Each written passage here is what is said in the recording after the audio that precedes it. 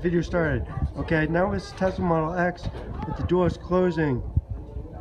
These aren't supposed to be closing because we're in a store, but anyways, can you open back up, sir? So we can, okay, doors opening.